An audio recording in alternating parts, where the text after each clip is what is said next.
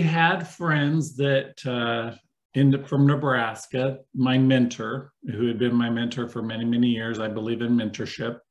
Um, and him and his wife were down this direction, said, Hey, you guys should come visit us. So we did. And we happened upon the villages. We took a little trolley ride. And I said, You know what? I think this might be the place I want to go when it's time to retire. And then we came down a few other times after that. And in that process, um, our friends ended up purchasing um, from a realty executive's salesperson is who they utilized to purchase their house down here in the villages. And um, so I got to go to a lot of open houses with them. So when we come to visit, it wasn't just fun. We we went to a lot of open houses. So my eyes were opened.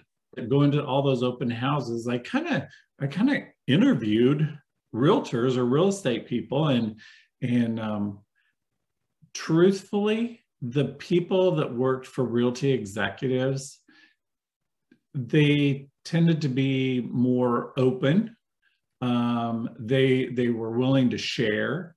Um, I never once got the feeling of um, use me, use me, use me. There wasn't that pressure. There was just that helpfulness, and and it seemed like everybody kind of worked together that was the biggest reason, um, just because I want to work in an environment that is pleasant and where people are helping one another and where it's not cutthroat and and everybody's pitted against each other. I, I wanted that harmony. That's what I wanted.